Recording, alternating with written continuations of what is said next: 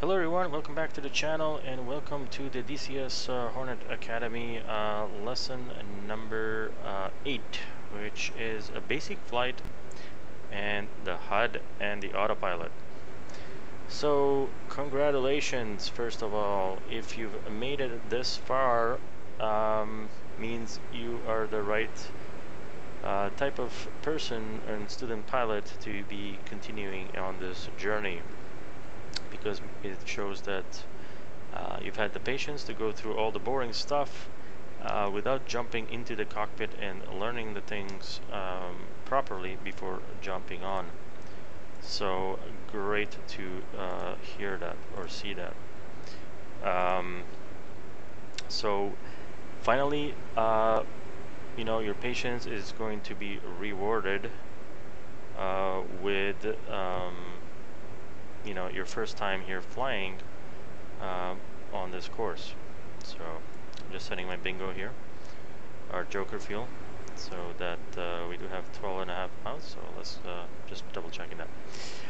Alrighty, so the first time, um, I'm assuming, first time, let's pretend that this is your first time in the Hornet. So you bought DCS, you, uh, let's, first of all, let's try a right turn. So um, while while I talk here. Uh, so you bought DCS. Uh, you figured out what it is. You said, "Hey, yes, I want to learn that. I want to become a naval aviator. I want to learn the F-18. I think that sounds great." Uh, you went through the first lessons. You figured out bindings and modules, and you you figured out um, how to bind things, and uh, you figured out how to cold start the aircraft, you know what things look like in the cockpit, what they are. Um, you watch some videos, some extra videos. You've done your homework. So by this time, you should be A, number A, uh, number A, number one, familiar with the Hornet cockpit and what most of these buttons uh, do. Um, second, you should have uh, practiced your cold starts, uh, so you kind of have an idea of not only what each button does, but uh, you know, a little practice uh, using those buttons. And uh, you also should be familiar with the kneeboard, uh, like this guy right here. Uh, and uh, also with the mission editor so that, for example, you would be in a position to know how to set up um, this flight here. For example, um, we are at roughly 15,000 feet 250 knots and um, you would be able to set this up. You now know how to set this up and be in this position that I'm in and you can uh, go ahead and practice this uh, lesson you know after we've gone through the, the instruction part of it. So um, first of all let's get started. Alright so what we're covering in this lesson is uh, we are covering basic flight and as I mentioned the HUD and the autopilot. So we're gonna cover for example how am I doing this right now? How am I by the way I'm not touching the anything I'm, I'm just talking to you guys my, my stick and my throttle they're just chilling out there I don't I'm hands off and uh, you know maintaining speed and altitude and um, I'm not doing anything. It's just the Hornet is just flying itself. I'm just doing the circles and and uh, observing, uh, you know, the beautiful countryside here, um, the Georgian countryside. And so we will teach you how to do that. Um, but uh, and then we're gonna go over the HUD. So um, the first thing is um, yes, the HUD. I think the HUD is going to be the first thing we talk about. Uh, first of all, we're not going to talk about, you saw that I turned all my screens off. Um, they're like in a menu mode, so we're not going to worry about any of that. Um, what you should do is set your bingo uh, just as a habit so you don't run out of fuel, but it's not really important. Uh, everything else in the jet is kind of good to go. Our RWR is off. Um, everything is good to go. So you don't have to worry about any of that. Don't have to worry about radios and comms or any of it. The only thing that we're going to talk about in this lesson is the HUD and the autopilot and basic maneuvers in the air. Uh, the, less, the next lesson, we're going to talk about slow, because we're going to apply those things to be able to do slow flight and uh, installs. And in the lesson after that, we're going to test the limit of the Hornet, um, just throwing it around. Uh, and after that, we're going to go into airfield procedures. So before, uh, you can see Kobuleti right here. Let's uh, do a bit of a left turn uh, around Kobuleti. Uh, you can see Kobuleti is right there. Typically, we were we would be right here on the third uh, spot. Um, and uh, when we go and do airfield operations, more more than likely we will um, set the wind so we use this runway here. And yeah, we were going to be coming in, doing landings, pattern work, and all of that stuff. But before we get anywhere near an airfield, um, just like in real life, when you do training in real life. Um, you don't start with uh, landings and takeoffs right away, at least not on your own. Uh, what will happen is you will go with an instructor, like if this was your first time in, an, in a Hornet, and you would just uh, go ahead and start doing basic maneuvers um, and you know feel out what um, the airplane.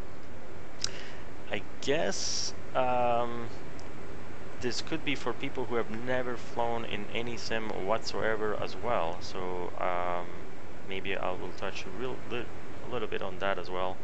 Make it super simple, but I won't, um, um, you know, going too much into the detail. So, all right, let's get started. So I guess uh, where where to start? All right, let's. Uh, um, I'm, I'm thinking if I should start from the HUD or the basic uh, aerodynamics, but uh, yeah, screw it. Let's start from the let's start from the HUD. All right.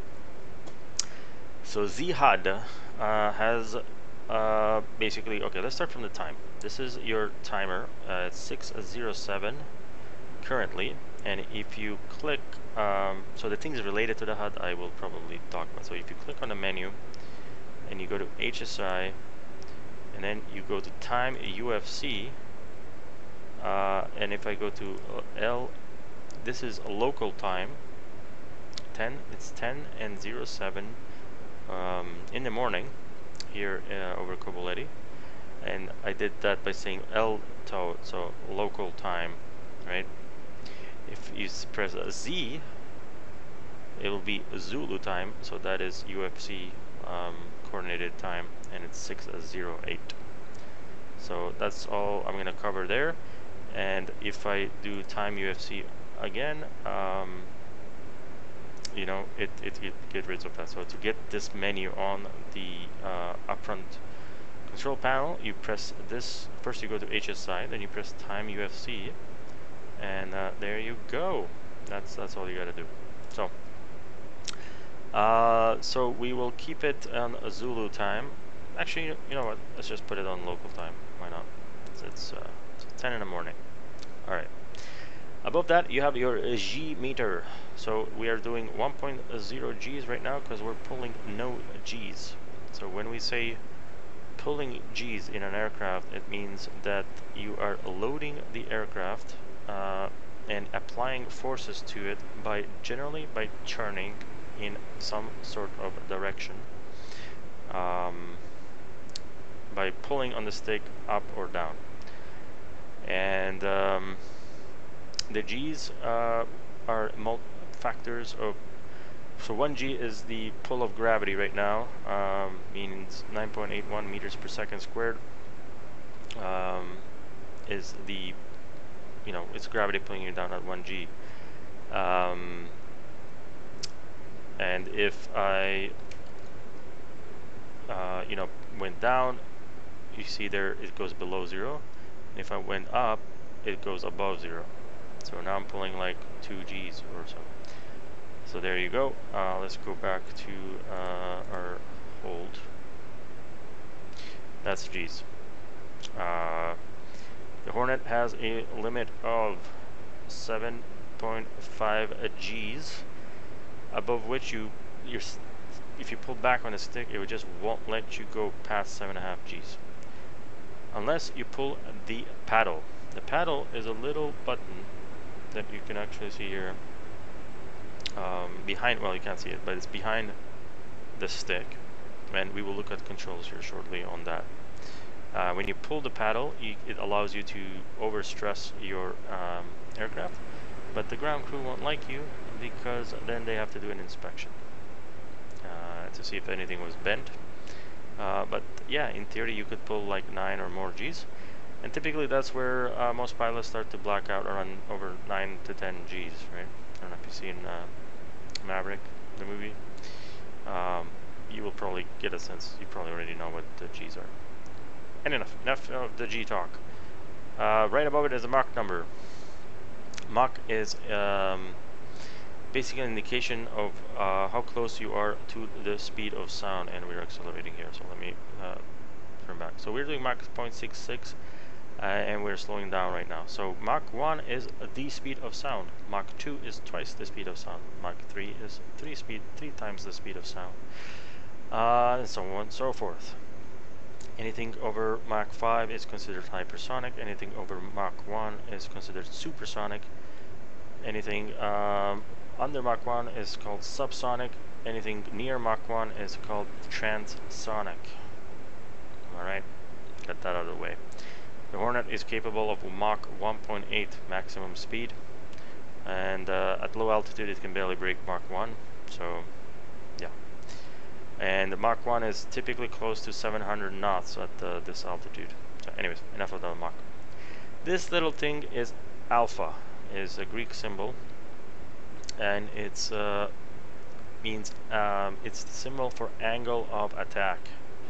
Uh, right now it's four degrees. Um, to understand the angle of attack, we would have to go through some ground school, and um, we're probably going to cover that somewhere else. So, but for the purpose of uh, this lesson, we don't really need to know what angle of attack is. Uh, except that, okay, basically angle of attack is the angle, uh, you see the wing on the Hornet, uh, from the front to the back, uh, it's called the chord. Um, that angle, the angle between that and the air that is going towards the wing, that difference between that angle is called the angle of attack. Okay So it's between the, the wing, you, can, you could think of it, the angle between the wing and the air that's coming towards it. The wing, the chord is the line between the leading edge and the trailing edge of the wing. Alright. Um, okay. This box, top left, is your speed indicated in knots, nautical miles per hour. It's, um, yeah, that's what that is. Um, and that's all there is to it. Uh, yeah, there's other speeds like true air speeds and uh, you know calibrated speeds and stuff like that.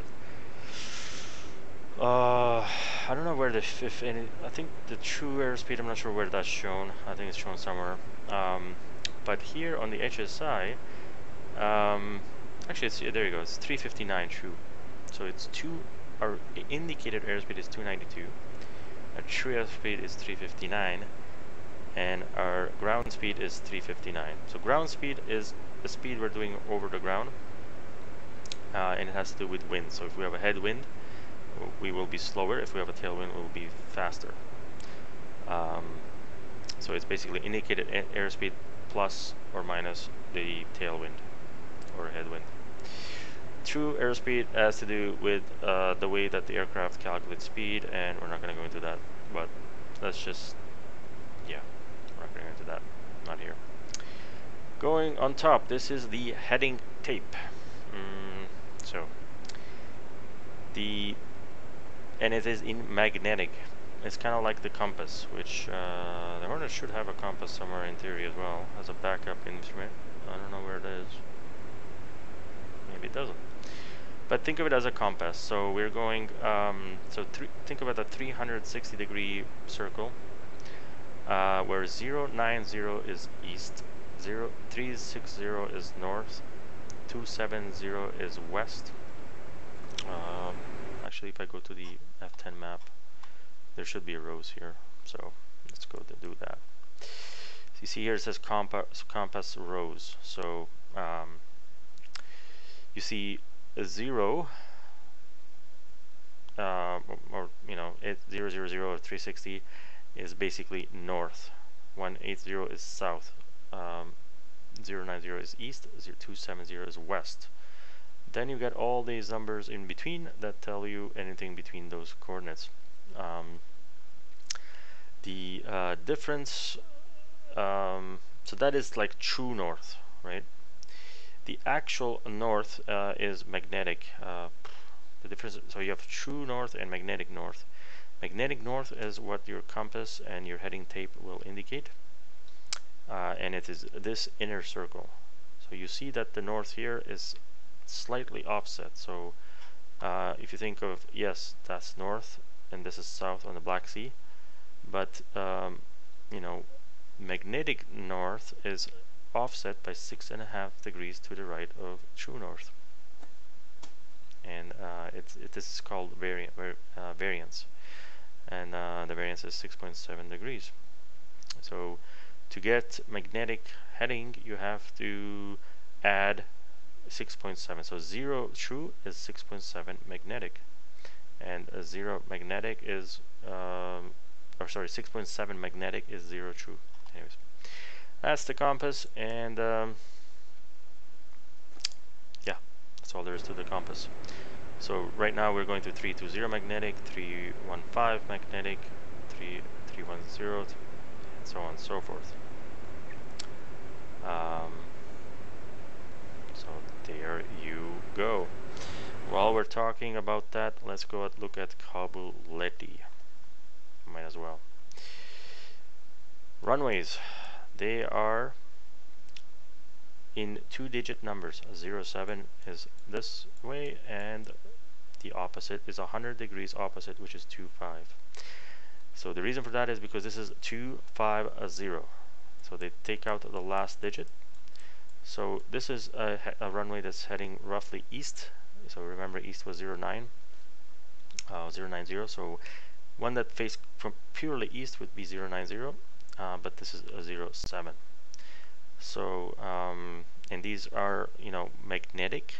They're not true pretty sure um, and if we click on this thing here show ruler we go to the center of the runway with right click and then we go to the center to the other side and left click or right click again. What does this say? That is a 070 true and 063 magnetic. So there you go. Um, so my bad uh, so the 07 is in um, sorry let me make sure we're not crashing or anything. No we're not. Uh, so yeah this runway is a 070 true and 063 magnetic. So and uh, same is opposite for this. So it is the direction of the runway. Um, and uh, yeah that's uh, that's a little thing about that all right uh, so next we have the altitude. This is your altitude in, in feet uh, barometric. Now if you switch this thing here to radar you'll see um, typically you'll see a NAR but radar has a limit of how high it can be before um, like like above 5,000 or something like that, it stops really working. Um, so this is your um, altitude above sea level uh, and it will change based on this number here. So if I change this uh, um, pressure indication on my altimeter to say 2011, uh, first of all it will say that 3011, uh, it's been changed so like right now I'm on a constant altitude of 14420, but let's change this. Look at that. It's, it's actually, as I'm changing, it's changing my altitude. Now it's 3330. And if I go back to 42, it says 260. So you see that there's over almost 200 feet difference. And when you're in instrument flying conditions, it makes a difference. This is basically, it uses pressure to calculate your altitude. And if your pressure is not correct, uh, it's not going to calculate correctly. B means that you're trying to get radar, uh, but it's flashing because it's just too high and not able to detect the ground. So if you switch this back, it's going to go away. Uh, this is your uh, altitude uh, above sea level. So ASL is above sea level. Um, so if you have a, if you have a mountain that's 13,000 feet, uh, your altitude would be um, you know 14 to 60 above sea level, uh, but it would be 1,260 above ground level or AGL. AGL is doesn't care about sea level; it just cares how far you're from the ground, and the radar altimeter measures that. ATC is just uh, means automatic throttle control. When you have it engaged, it shows ATC. It manages your throttle to maintain uh, specific speed. The last thing that we're going to talk about, the last two things, is um, uh, these vertical bars are your um, ladder, as we call it. Um, so basically, uh, if you pitch up, uh, this means you're five degrees above, pitched up above. Um, and this, if you're pitching down, this means you're in on basically level, right? Uh, if it's a, a, dotted line, it means it's your you're inverted or you're going down, and uh, you know this is five degrees down, 10, 10 degrees, and so on forth. If you wanted three degrees, for example, three degrees is your standard uh, TACAN approach, it would be somewhere around there. This little plane looking thing, the circle with the wings and the tail, that is your velocity vector. It is an extremely important thing that is indicating where your aircraft is heading. So right now if I did this it would basically saying that I'm gonna head and hit the mountain at that spot if I kept doing what I did.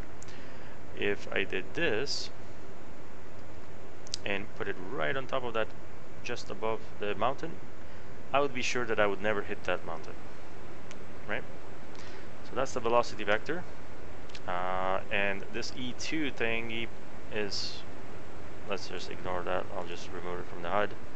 It's uh, uh, electronic warfare related stuff. The last thing is your angle of bank. So this right here uh, shows your angle of bank. So um, I think these. I'm trying to remember. I think this is 30, and this is 5. So I think this is 5, 30 and is this 60 or 45? Good question, huh? That looks like 45. It's probably 45 and that's probably 60. Yeah, it looks like more than 45. Anyways. Um, so 45, 30.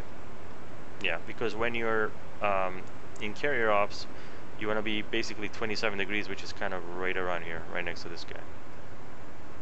So, I think. No, that's 30. Yeah. Yeah, that's 30. Sorry, guys. Because in carrier ops, you want to be close to this. Yeah, this is more than the angle that you would uh, do. All right. Um, let's uh, head back towards Kobuleti real quick. and talk about basic maneuvers now that we've gone over the HUD.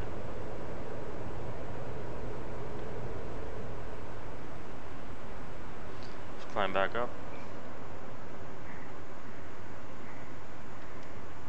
Alright. Alrighty, so basic maneuvers. If you want to be, I don't have any autopilot off on right now, so First thing you're going to try to do is level flight and a constant speed. So let's try to go for 350 knots and 12,000 feet. So you want to basically go to three, adjust your throttle until you're at 350 and then you pitch down.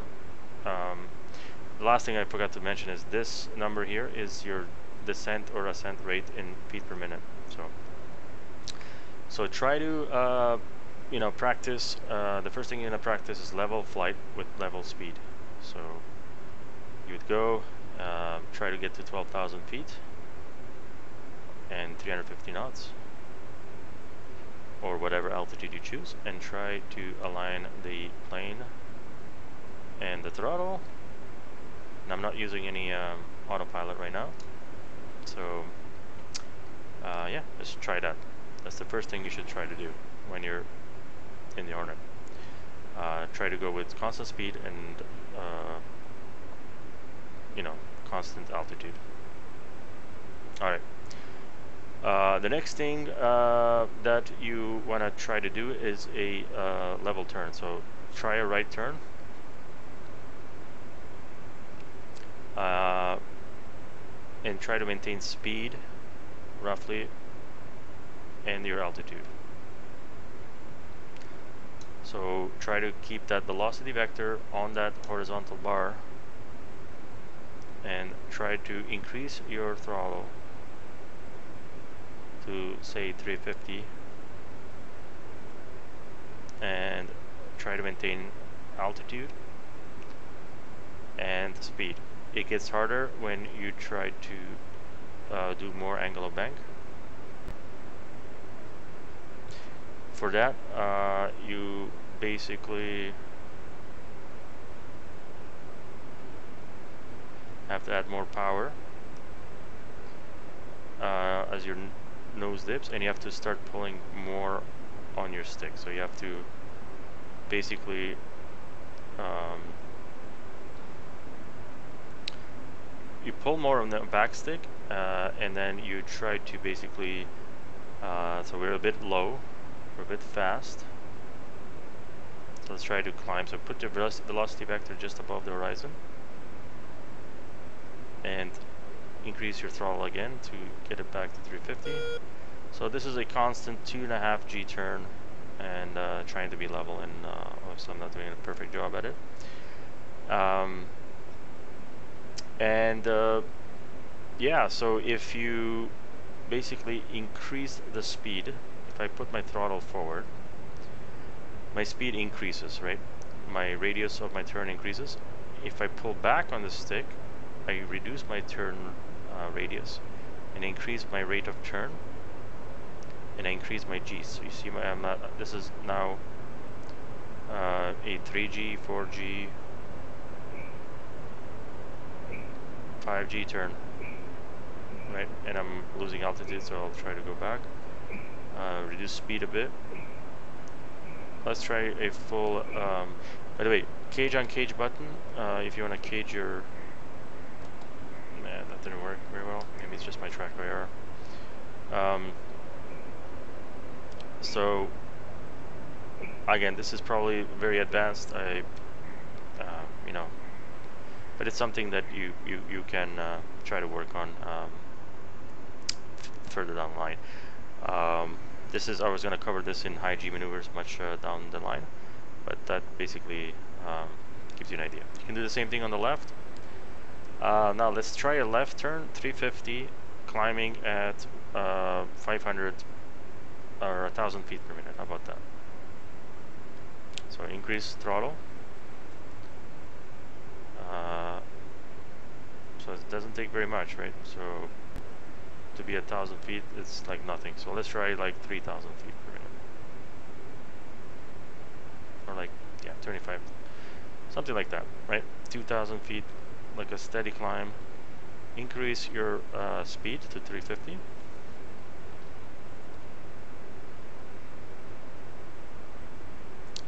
so this is a 350 knot 2000 feet per minute climb in a, in a turn. To do the same on the down you just pull back on the throttle and then you pitch down now we're going to do a roughly 2000 foot per minute descent. And we see they're losing speed, so we're going to increase throttle.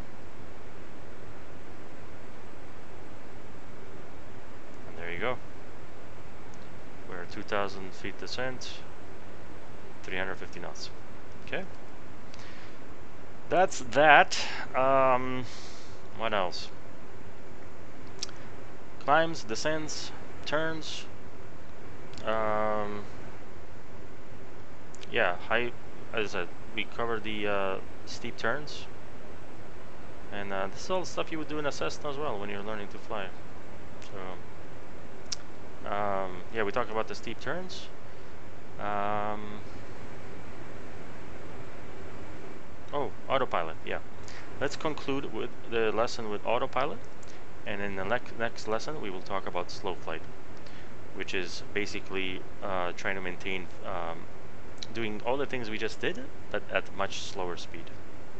So, um, so let's go over autopilot. Let's go back towards Kobuleti. Where is it? Right there. Alright. So, we're roughly here, roughly in the direction of the coast. About there? Let's say we want to head in this direction. And we want to be at, uh, let's say 12,000 feet, so we pull up a bit. And let's say we want to go at 300 knots.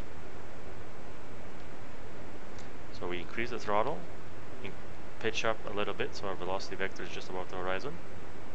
Um, and we are at 300 knots, we are at 12,000 feet. Reduce the power a bit. Okay. So, autopilot, all you have to do is you click on A slash P here, and then you select barometric altitude, what that does is it uh, selects um, a, it maintains your altitude. So that's the, that's the only thing it does. So let's say I turn here left right? Um, and I, all I did is I click AP and this, these two dots next to B alt which means barometric altitude means it's trying to maintain um, altitude and uh, you see my throttle is going down because I have I'm not touching my throttle I'm not touching anything right now um, so that's all it's doing. If I wanted to maintain like a speed, I would engage the auto throttle, ATC, and um, see, now it's at 269. So it's maintaining altitude, and it's maintaining um, my speed. Um, the other one is, okay, now let's get out of the altitude one and the speed. Um, the other uh, thing is, uh, and I'm gonna go all, the, all, over all the keybinds. I should probably should have done that first. Um, I'll probably edit it in, but um, there's a couple keybinds here for like, uh, for example, disengaging autopilot. So actually, let's go over that right now. Adjust controls, search, uh, autopilot. You see this it says autopilot pilot slash nose wheel steering disengage paddle switch. Um, so also known as the paddle. So when you click that button that's at the bottom of your joystick it's going to do several things. Um, it will uh, disengage the autopilot uh, it will um, I think disengage nose wheel steering and it will also um, enable you to pull more than 7.5 Gs if you pull the paddle. I have it bound to uh, a modifier and a joystick button so you can do whatever you want just remember what it is so for example if I am on barometric altitude and I click on the paddle you see the two dots go away means autopilot is off guys it took me five months to figure that out um, it was my commanding officer who taught me that and it made a world of difference um, in my flying. Uh, you're gonna learn it here on your first flight. Uh, I'm jealous. Uh, but yeah, turning off your autopilot, very important. Okay, uh, next thing is, uh, let's go with attitude select. So let's say I want to go uh, up. First of all, let's add some throttle. Let's say I want to maintain this attitude. All I'm going to do is press attitude alt, ATTH, and it's all the Hornet's going to do, it doesn't care about your thrust. It's going to maintain whatever altitude you selected. So it's this, this angle of pitch and this angle of bank. Now, if I, for example, try a bit more, it's going to hold this one. See? It's, it's just holding it. If I reduce the pitch, boom, that's it. Now it's going to hold this pitch. It's very cool. Uh, if you yank on it, it will disengage. Boom. And uh, the hornet's gonna bitch at you. um, so that's attitude. Uh, heading select. Let's try that one. So let's say I wanted to uh, head in the direction now, roughly in this direction on the coast. Let's say heading of 325. So how do we do that? So first thing, you come here, you go to this heading button. You right click it for a couple seconds until all of this clears and HSEL comes up. Then you click this button uh, and then you go with 3, 2, 5, enter. And you will notice um,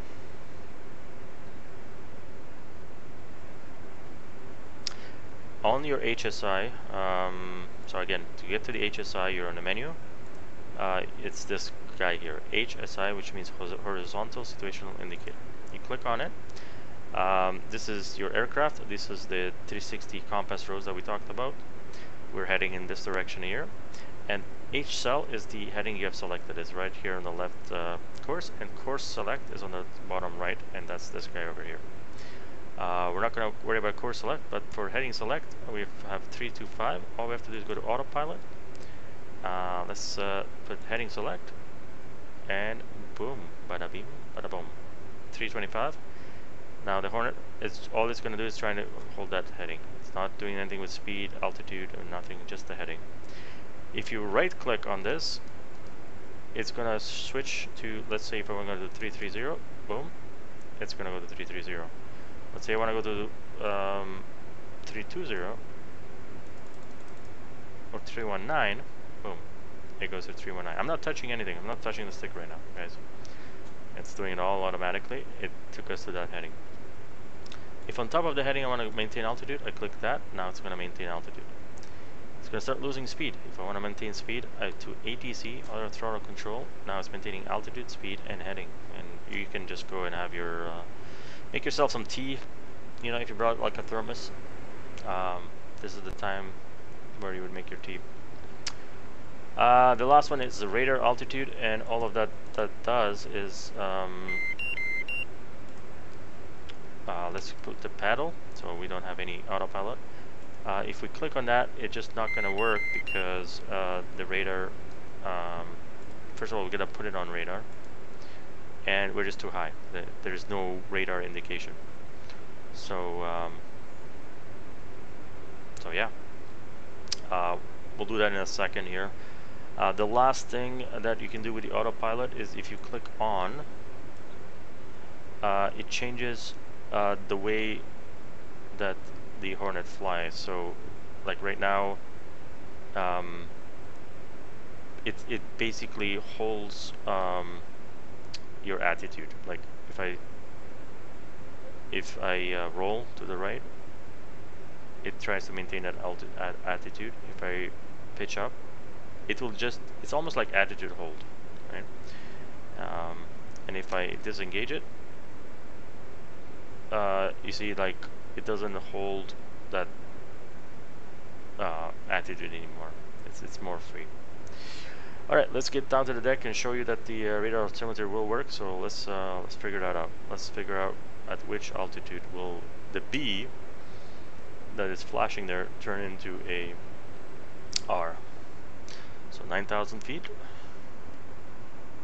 Pull back on the throttle when you're descending. 7,000. 6,000. Five. Altitude. There we go. So it looks altitude. like it's it's 5,000. So below 5,000 feet, uh, you will get radar altitude readings, and um, you can engage radar autopilot. So let's go over some hills real quick, and I'll show you exactly what I mean. Are the hills? Right there.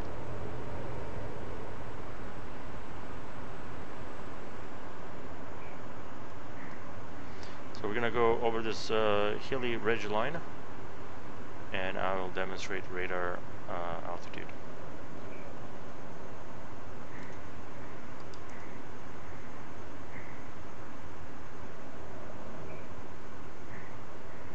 Okay, so you can see that there's hills here. So the uh, elevation that we're gonna go over uh, changes. So all I'm gonna do here is demonstrate first of all barometric altitude. So I'm gonna get low. I'm gonna go AP and B alt.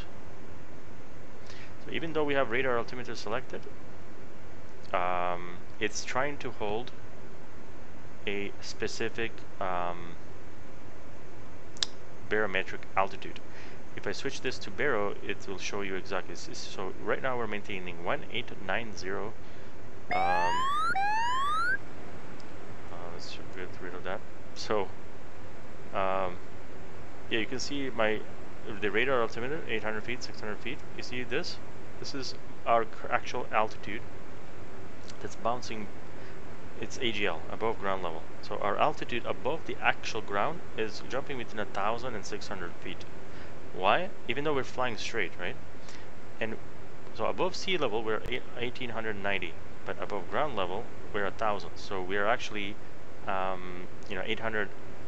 Uh, the difference is 890 feet. Uh, you know, between the sea level uh, reading and the barometric reading if we keep going in this direction, we're going to hit that mountain, right? So how do we prevent that? All we have to do is go, well, either fly it or we can go autopilot and go switch to radar altitude. So now, um, what it's going to do uh, is to make us crash. Okay, hang on. Why did that not work? Radar altitude.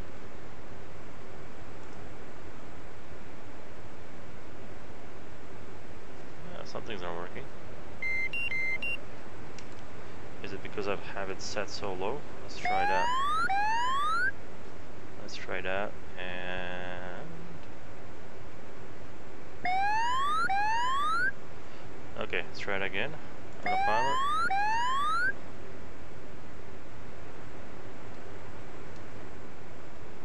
That is very interesting. It's trying to make me crash. Why is the radar altitude not working? What it's supposed to do, guys, is uh, maintain this. Uh, oh, I know what it's happening. It, it's trying to maintain. Um, okay, let's try like okay. Right now, let's say we are um, we want to maintain 2,000 feet radar altitude. Let's go R. There you go. So it's going to try to maintain 2,000 feet radar altitude. That's what it was. It was just too low earlier. So you see, uh, now it's trying to go to 2,000. It's below it, so it's pitching up. So it's like, okay, I got to go back up to 2,000 feet. So uh, let's uh, reduce the speed. Uh, and it was so abrupt that uh, you know it disengaged the, the radar altitude. So this obviously works better when you are um, not over hilly areas. You know what I'm, so let's try to go somewhere flatter.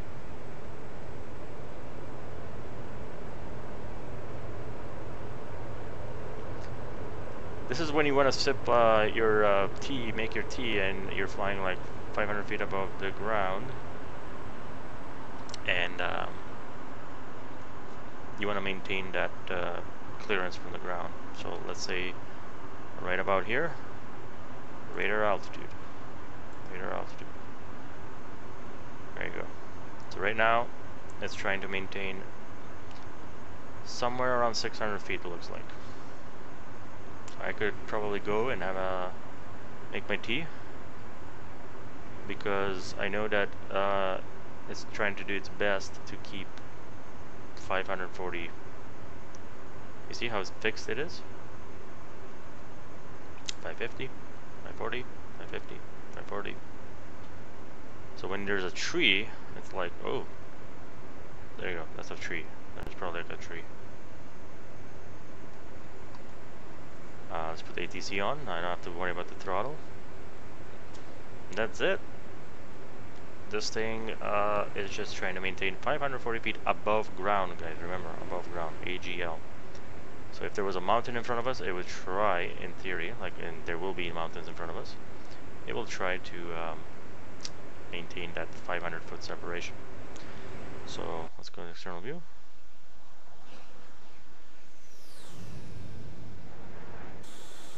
There you go. Just trying to maintain an altitude. Okie dokie guys, that covers autopilot. Um, that is it for this lesson. Uh, so by now you should uh, go and practice um, what you've learned here. Go practice level turns, uh, steep turns and level. Um, you know, constant uh, speed and constant uh, uh, rate of descent, um, descents and climbs. Go and play around with the autopilot. go and do level flying, constant turns, play with the radar altimeter, switch between, you know, barometric, uh, which right now is barometric state 60 barometric, and 530 radar. Uh, for example, let's test this out. Will this radar altimeter actually keep me, um, yeah, it's actually keeping me, uh, even though, so this is just displaying the radar altimeter. So, yeah. So let's see what happens when we get to this hill. Uh, but yeah, go and practice that stuff. Uh, you know how to set it up in the mission editor. You know um, the basic uh, buttons and functions. Uh, you know how to get to the HSI. As I said, this is menu menu. This HSI, right? You get how you get there? All right, so here we go. It's 500 feet. Uh, now it's 400, and so it should pitch us up. 400, 500. Yeah, you don't want to rely on it too much because uh, this is like re relying on a Tesla autopilot, right? When you're like eating a pizza it or taking a nap. You know, it's not very accurate, but yeah, it's basically it's trying to match the contour of the terrain. Like I'm not even flying this thing right now. It's just on autopilot, and I have to be ready to. Uh, So on this hill, it should, see, it's actually trying to climb to maintain that. Uh, and you can see my radar altimeter going off because um, I had set it at 600, or sorry, 400, 380 feet, and so when it broke 380 feet, uh, it gave me a, a warning. So, um, but I love to fly low, so let's forget about that, put it at 100 feet. And that's it, guys. Um, we'll see you on the next one and do some solo flights.